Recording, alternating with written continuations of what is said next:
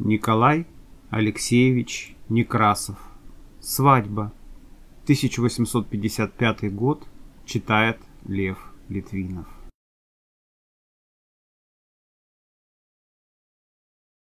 В сумерки в церковь вхожу.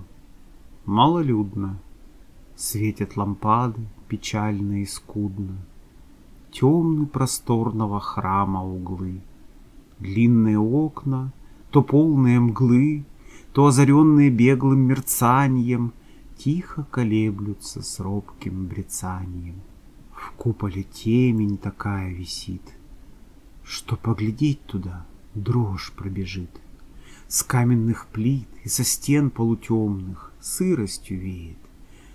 На петлях огромных, Словно заплакана тяжкая дверь. Нет богомольцев, не служба теперь. Свадьба.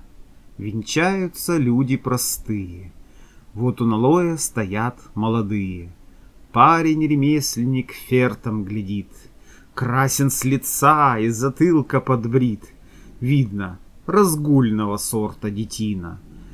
Рядом невеста, такая кручина. В бледном лице, что глядеть тяжело. Бедная женщина. Что вас свело?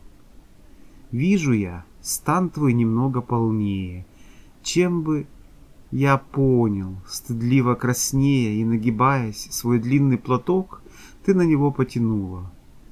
Увлек, видно, гуляка подарком да лаской, Песней, гитарой да честной маской Ты ему сердце свое отдала. Сколько ночей ты потом не спала. Сколько ты плакала, он не оставил, воли ли, нет ли, он дело поправил. Бог не без милости, ты спасена. Что же ты так безнадежно грустна? Ждет тебя много попреков жестоких, Дней трудовых, вечеров одиноких.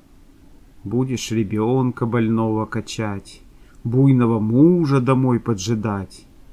Плакать, работать, додумать уныло, что тебе жизнь молодая сулила, чем подарила, что даст впереди. Бедная, лучше вперед не гляди.